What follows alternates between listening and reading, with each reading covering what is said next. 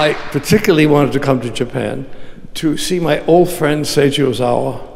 And I went with Seiji two, three days ago to Matsumoto, where we did a fantastic concert with Saito Kinen Festival Orchestra. Uh, I was so moved to see Seiji. So we will begin with three pieces from Harry Potter. But before that, I would like to play with the orchestra Superman. Because if you translate Superman from English back into Japanese, Superman means Seiji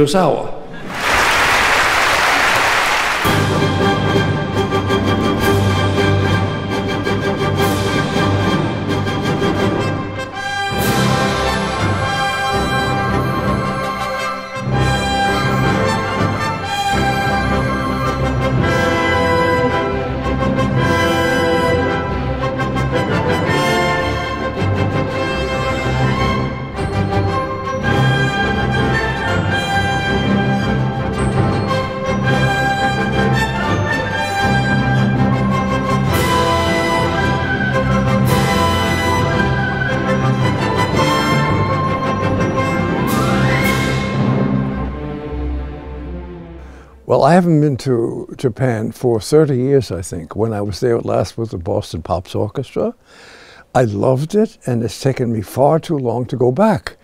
And I've been very busy and traveling elsewhere in this direction or that, but I'm so happy I went.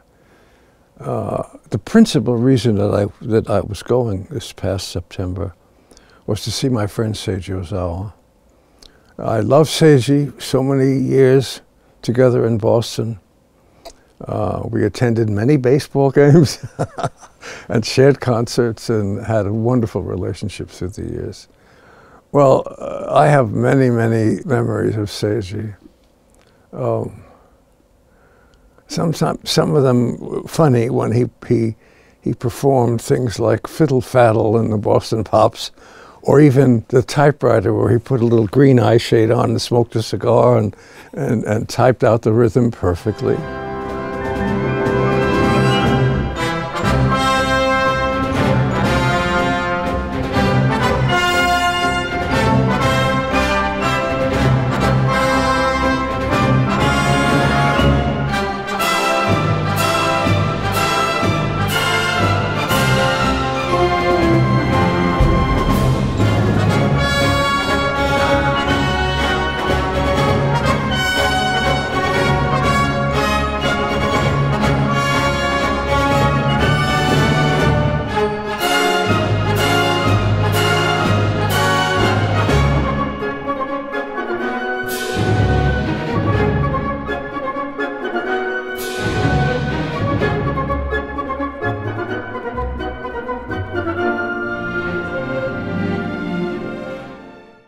Well, Saito Kinen is, is an orchestra that assembles every year, as I understand it, to perform in Saito Kinen Seiji's Festival.